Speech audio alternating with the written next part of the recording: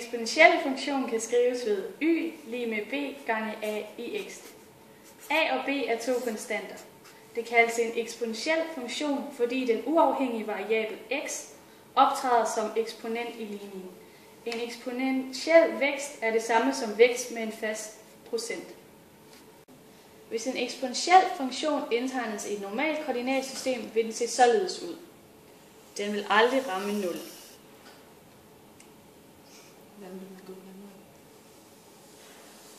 Hvis man skal se, om en graf er en eksponentiel funktion, kan man indtegne den på et enkelt logaritmisk papir.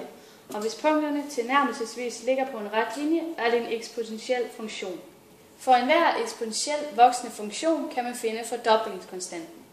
Det er den vækst på x, der giver y en stigning på 100%, altså en fordobling. Hvis man for eksempel sætter penge i banken til en fast rente, vil beløbet efter et antal år være fordoblet.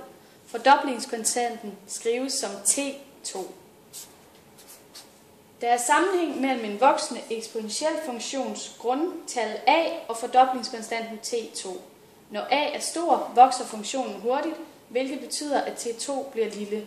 Når a er lille, vokser funktionen derimod langsomt, hvilket betyder, at t2 bliver stor. Sætningen for fordoblingskonstanten ser således ud.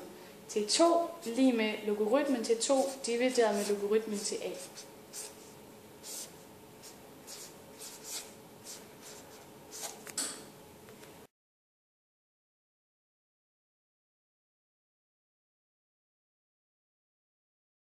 Vi vil nu bevise sætningen for fordoblingskonstanten t2.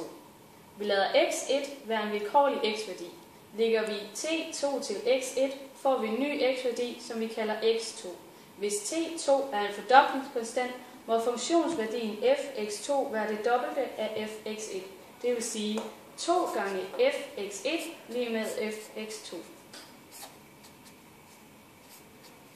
Ved at benytte forskriften får vi derfor 2 gange BA i x1 lige med BA i x2.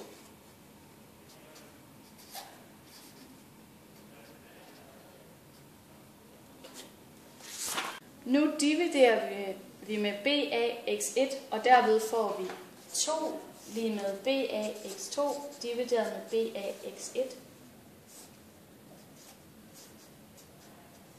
Hvis vi forkorter b væk, får vi a i x2 divideret med a i x1, hvilket giver a i x2 minus x1.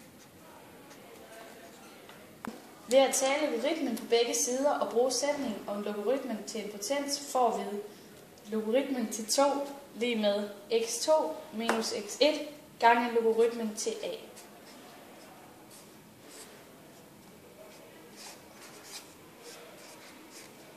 Eller x2 minus x1 lige med logaritmen til 2 divideret med logaritmen til a.